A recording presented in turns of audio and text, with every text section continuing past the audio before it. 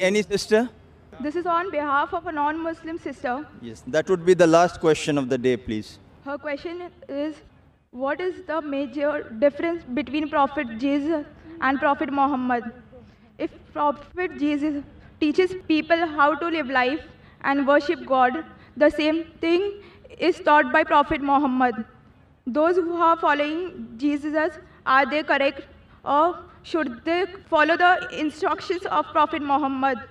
Because Prophet Jesus may come again on this earth, so he could be the last prophet.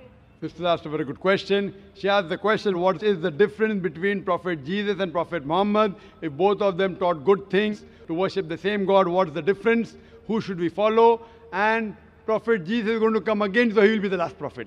As far as the question is concerned, that amongst all the prophets, five prophets are considered, according to the hadith, as great prophets. Prophet Abraham, Prophet Nuh salam, Prophet Moses, Prophet Jesus, and Prophet Muhammad, peace be upon him. So we consider Jesus Christ, peace be upon him, as one of the mightiest messengers of Allah subhanahu wa ta'ala.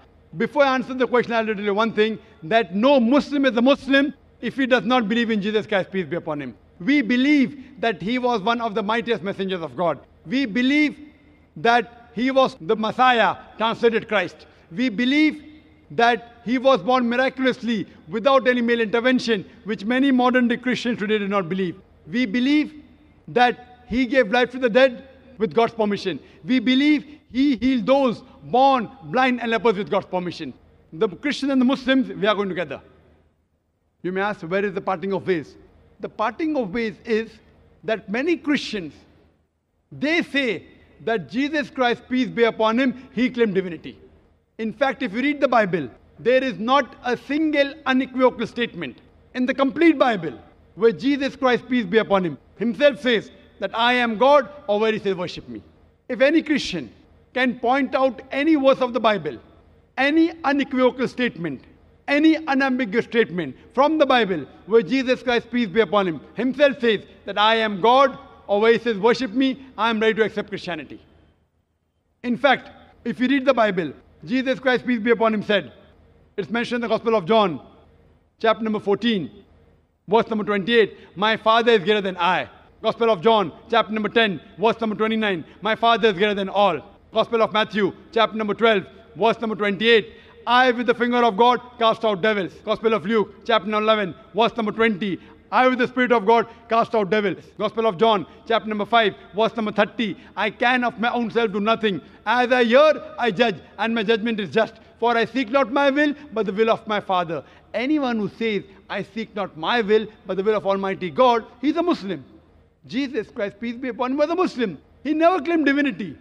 It's clearly mentioned in the Gospel of John, chapter number 14, verse number 24. He said that the words that you hear are not mine, but my Father's who has sent me. It's mentioned in the Gospel of John, chapter number 17, verse number 3. Jesus Christ, peace be upon him, says, This is life eternal, so that you may know there is one God, and Jesus Christ whom thou hast sent. It's clearly mentioned in the book of Acts, chapter number 2, verse number 22. Ye men of Israel, listen to this.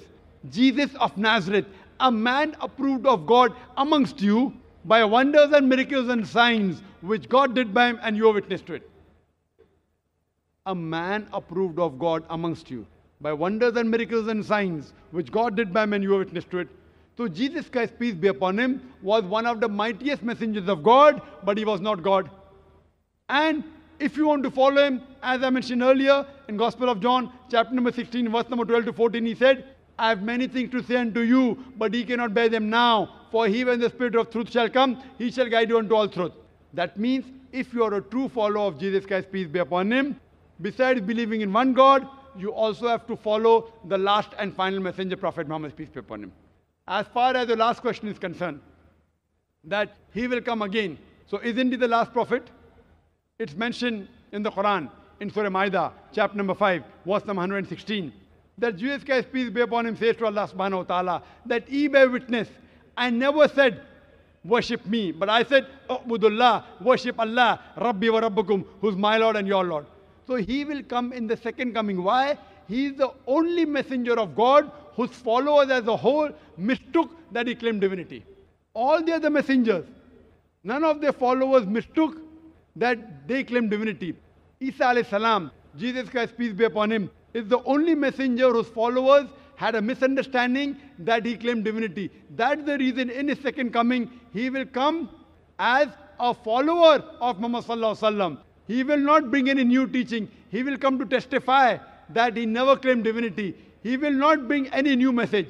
The message is complete. Quran says in Surah Ma'idah chapter 5 verse number 3, this day have we perfected religion for you and have chosen for you Islam and have completed my favor on you. So nothing new can be added or subtracted from Islam. Isa alayhi salam in his second coming, he will come to testify to the Christians. He never said worship me, but Ubudullah, worship Allah, Rabbi wa Rabbakum, who's my Lord and your Lord.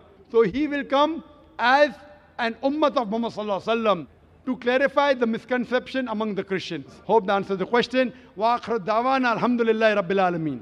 Jazakallah, Dr. Zakir.